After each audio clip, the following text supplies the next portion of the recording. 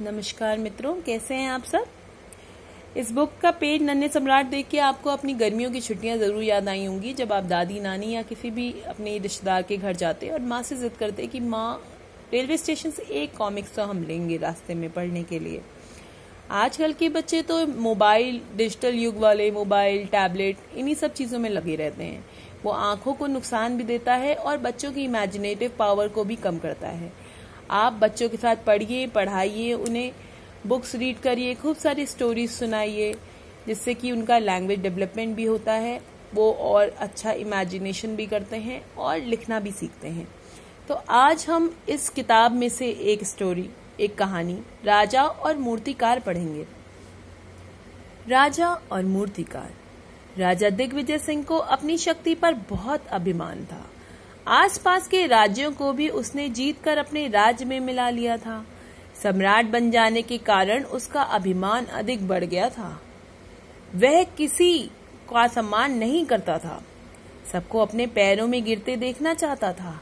उसके दरबार में वही व्यक्ति रह सकता था जो हर समय उसका गुणगान करता रहे। राजा दिग्विजय सिंह को सुंदर मूर्तियाँ अपने महल में रखने का बहुत शौक था। उसने अपने महल में बड़ी बड़ी मूर्तियाँ रखी हुई थीं। लेकिन वह नहीं चाहता था कि उसके राज्य में कोई दूसरा अपने घर में मूर्तियाँ रखे। उसने मूर्तियाँ बनाने पर भी प्रतिबंध लगा रखा था। इस सजा के भय से कोई मूर्ति बनाने का साहस नहीं करता था। अनेक मूर्तिकार उस राज्य से भागकर दूसरे राज्यों में चले गए थे। एक दिन राजा दिग्विजय सिंह अपने रथ में सवार होकर जंगल में पहुँचा। उसके साथ सेनापति और कुछ सैनिक भी थे। घने जंगल में राजा ने एक बूढ़े मूर्ति, बूढ़े आदमी को मूर्ति बनाते देखा। वह एक सुंदर मूर्ति बना रहा था।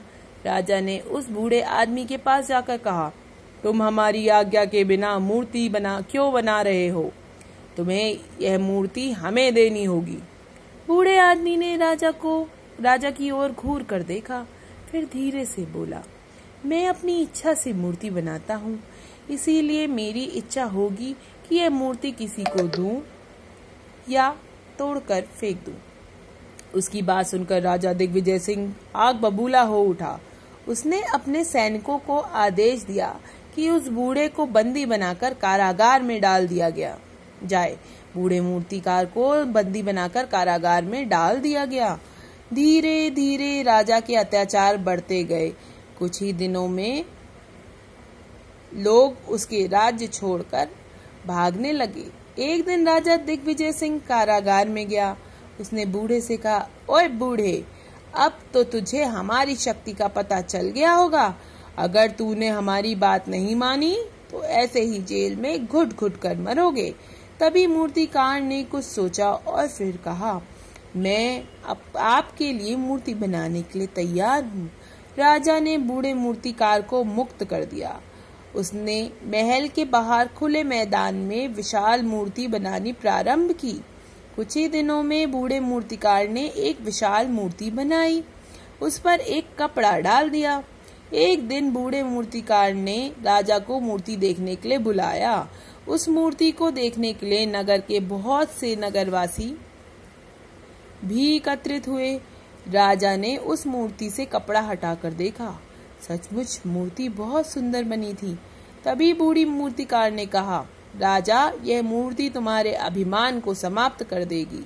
ये सुनते ही राजा ने कहा, सेनापति, इस बूढ़े को बंदी बना लो और सबके सामने इसका सर काट दो। राजा दिग्विजय सिंह के आदेश पर बूढ़ा मूर्तिकार मुस्कुरा रहा था। अभी सेनापति उस बूढ़े मूर्तिकार को बंदी बना पाता? उसने ज़ोर ज़ोर से तालियाँ बजाईं। तभी वह मूर्ति ज़ोर से हिली और विशाल मूर्ति राजा पर गिर पड़ी। राजा उस मूर्ति के नीचे दबकर मर गया। उस बूढ़े मूर्तिकार ने ऐसी विचित्र मूर्ति बनाई थी जिससे, जिसमें ताली बजाने से कंपन होता था। अधिक कंपन होने से मूर्ति राजा पर गिर पड़ी और उसे मृत्यु का शिकार बना दिया। दुष्ट और अभिमानी राजा ने मर जाने से भी, सभी प्रजावासी बहुत खुश हुए। बूढ़ी, बूढ़े मूर्तिकार ने अपनी बुद्धिमानी से उस अभिमानी राजा का अंत कर दिया। धन्यवाद।